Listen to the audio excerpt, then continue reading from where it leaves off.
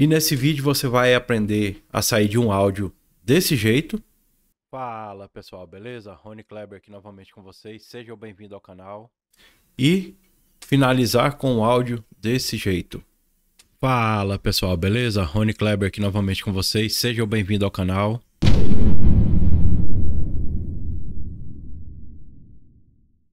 Fala galera, Rony Kleber aqui novamente com vocês. Sejam bem-vindos ao canal. E se você se interessa por esse tipo de conteúdo, já deixa aí o seu like. Se não for inscrito no canal, se inscreva. Compartilhe em suas redes sociais. Comente aí nesse vídeo como é que você fez o seu tratamento de áudio, se esse processo resolveu para você. E se você quiser auxiliar o canal ainda mais, considere ser membro, que isso é uma coisa que nos fortalece nos, e nos incentiva a criar novos conteúdos como esse. Beleza? E, o, e esse tutorial nós iremos utilizar o Adobe Audition, que é um programa profissional da Adobe, que eu utilizo ele para fazer o meu tratamento de áudio. Lembrando que para você fazer um ter uma boa pós-produção, você tem que ter você terá que ter uma captação boa também. Eu utilizo aqui um microfone USB Vedo condensador. Ele tem já uma qualidade até boa, precisa fazer poucas coisas para ele melhorar.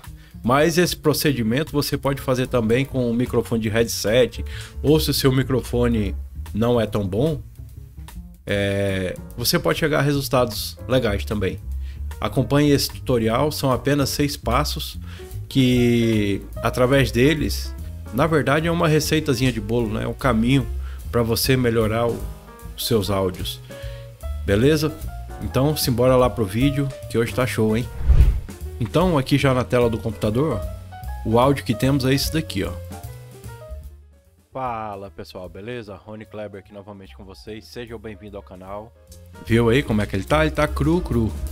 Só que ele já não tem ruído, né? Não tem nada. Então, o primeiro passo a fazer você vai normalizar esses volumes aqui, ó.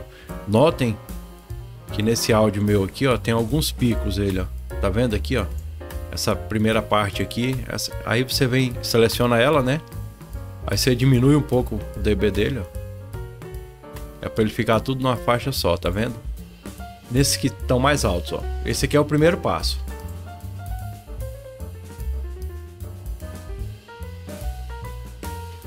Diminui aí também, ó. Pronto, primeiro passo já concluído. Você normalizou. Fala pessoal, beleza? Rony Kleber aqui novamente com vocês. E agora você vai fazer, vai normalizar os volumes desse áudio. Tu clica duas vezes, seleciona ele todo, né? Aí vem aqui em efeitos, aí vem é, amplitude e compactação, aí vem normalizar processo. Eu utilizo aqui essa porcentagem aqui, 93,6%. Mas não quer dizer que o seu vai ficar bom com essa porcentagem também, tá? Você faz os seus testes aí e verifica. Vai depender muito da altura do áudio que você captou. Eu, como eu já captei nessa altura, aqui ele fica bom com essa porcentagem. E é, é porcentagem, tá? Não é dB não. Se você colocar dB aí, seu, seu ouvido provavelmente vai espocar. aí você marca aqui essa opção aqui, ó. Normalizar todos os canais por igual. E esse ajuste de desvio aqui eu não, não seleciono ele não porque nunca vi necessidade, beleza? Aí você clica em aplicar. Beleza, pode ver que ele já incorporou o áudio, ó. Olha aí como é que ele ficou, ó. Fala pessoal, beleza? Rony Kleber. Viu como ele já aumentou bem o volume? Pois é, então agora você vai... O que, que vamos fazer? Você seleciona ele todinho. Esse aí é o segundo passo, né? O primeiro passo foi... É... Você normalizar a altura dele. Né? Você corrigir um pouco a altura dele, né? Aí o segundo, normalizar a altura. E esse terceiro aqui, ó, você pode fazer uma redução de ruído. O meu aqui não tem ruído, né? Não tem quase ruído. Mas você seleciona aqui, ó. Tá vendo? Aí você vem aqui, ó, botão direito, impressão de ruídos de captura ou Shift P. Aí clica em OK. Já obteve o, o perfil do ruído, beleza? Aí você dá um Ctrl A Aí vem aqui em efeitos.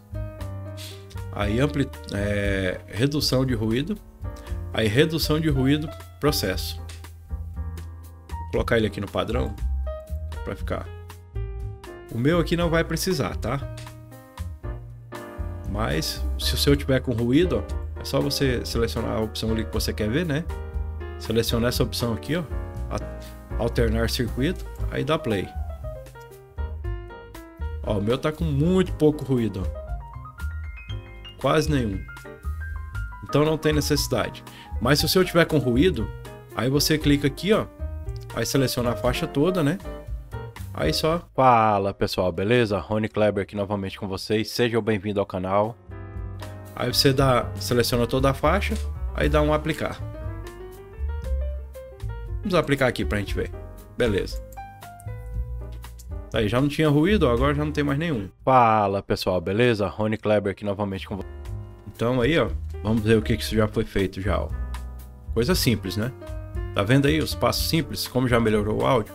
Você, você apenas corrigiu os picos, normalizou o volume, reduziu o ruído. Três, três passos já, né? Então, agora vamos equalizar esse áudio. Vem aqui em efeitos. Aí vem ampli, é, filtro e aqui. Aí seleciona o equalizador paramétrico. O meu é esse daqui, ó, que eu já utilizo aqui, ó, tá vendo? Olha, eu vou, vou só salvar isso aqui que é para você ter uma ideia.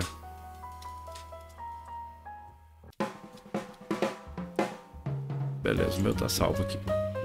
Aí eu vou colocar aqui ó, no padrão, vou explicar para vocês esses gráficos. Ó, essa parte da esquerda aqui, ó, o L1, tá vendo? Essa aqui é a, são os graves. Aí todo esse meio aqui, ó, 2, 3 e 4 são os médios. Na verdade, deixa eu explicar detalhadamente para vocês aqui, ó. Aqui do L1 aqui, ó, são os graves. Beleza? Aí já aqui no 2 aqui, ó, nessa parte mais à direita, já são os médio grave. E aqui no 3 são as frequências médias. Certo? Aí aqui, ó, no 4 são os médios agudos. Beleza? E aqui no 5 e o A são os agudos. Então, essa parte aqui grave, essa aqui do meio médio e essa aqui da ponta direita agudo. Então vamos ver como é que tá o nosso áudio aqui, ó. Vou selecionar um pedacinho ali pra gente ver. Fala, pessoal. Fala, pessoal. Viu aí, ó? Gente precisa colocar um peso a mais nessa voz, que ela tá um pouco um pouco xoxa, né? Então vamos ver aqui, vamos vir no L aqui, ó. Vamos levantar aqui, ó. Trazer mais ou menos até aqui, vamos ver como é que ficou. Nunca passe do 40, tá? Fala pessoal, beleza? Rony Kleber aqui novamente com você. Fala pessoal, beleza? Rony... Viu aí? Já aumentou bem o grave, né? Mas foi muito, vamos tirar um pouquinho. Aí vamos agora aqui... Vamos ver como é que ficou agora. Rony Kleber aqui novamente com você. Fala pessoal, beleza? Pra mim já tá bom já. Então vamos aqui no agudo agora. Vamos dar um pouco mais de brilho nessa voz. Aí você aumenta aqui o agudo, ó. Nunca passa do 10. Geralmente, quando passa do 10, o áudio fica estranho. Rony Kleber aqui novamente com você. Fala pessoal, beleza? Rony Kleber aqui novamente com você. Fala pessoal, beleza? Viu aí? Já, já ficou show o áudio, né? Mas vamos tirar um pouquinho o médio, que esse médio aí tá incomodando um pouco. O médio aqui, ó. Então vamos baixar ele um pouquinho aqui já tá bom. Vamos ver. Beleza, Rony Kleber aqui novamente com você. Fala pessoal, beleza? Rony Kleber aqui novamente com você. Fala pessoal, beleza? Rony Kleber. E aí, viu? Ficou show já, né? Então você dá um. clica duas vezes lá e vem em aplicar. Beleza. Aplicou. Vamos ver como é que ficou. Fala pessoal, beleza? Rony Kleber aqui novamente com vocês. Sejam bem-vindos ao canal. Viu aí, né? Tá show, né? Agora, para como você mexeu na equalização, você modificou o volume, né? Então vamos aqui para esse quinto passo.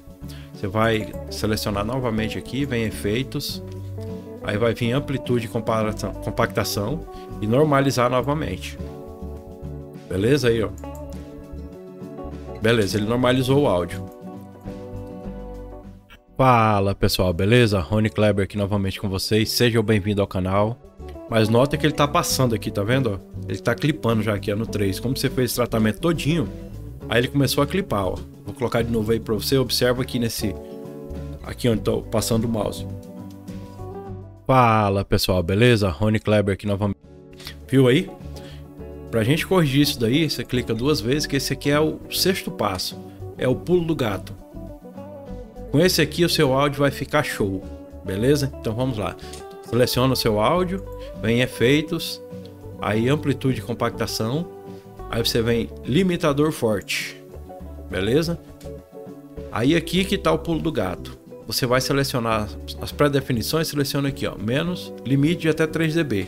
O que, que é esse menos 3 dB? Ele não vai passar dessa faixa aqui, ó. Vai chegar no menos 3 aqui, não vai passar daqui. Beleza? Aqui amplitude máxima, tá vendo? Menos 3 dB, então ele não vai, não vai passar daqui. Aí o aumento de entrada, que é o pan do nosso áudio, né? Ele vai aumentar toda essa galera aqui, ó, toda essa área aqui, mas não vai deixar passar dos 3 dB, beleza? Aí esse tempo de look aqui, ó, é para é, é para ter uma suavidade nas entradas de áudio, né? Para não ficar aquela uma parte bem alta e outra parte bem baixa fica esquisito no áudio, né? Aí você deixa em 7 microsegundos, ms. Aí aqui o tempo de liberação em 100 ms. Aí vincular canais. Beleza. Aí só vem aqui, dá um aplicar e tá pronto. Olha aí, ó, que show. Dá um play para você ver, ó. Fala pessoal, beleza? Rony Kleber aqui novamente com vocês. Sejam bem-vindos ao canal. Viu aí? O áudio chega aqui no menos 3 e não passa daqui, ó. Ó, beleza? Rony Kleber aqui novamente com vocês. Pois é, pessoal. Bem simples, né? Muito simples mesmo. Lembrando que você tem que ter uma boa captação também, né? Mas mesmo se tiver com fone de ouvido, tiver muito ruído, você pode melhorar bem mesmo essas gravações. Então tá, esse aí foi o tutorial de tratamento de áudio em seis passos no Adobe Audition. Beleza? Se você gostou, já deixa aí seu like. Se não for inscrito, se inscreva. Compartilhe em suas redes sociais. É, comente aí nesse vídeo. E também considere ser membro do canal, que isso nos fortalece e nos incentiva a criar novos conteúdos como esse. Beleza? Então fiquem com Deus, fiquem na paz. Fui.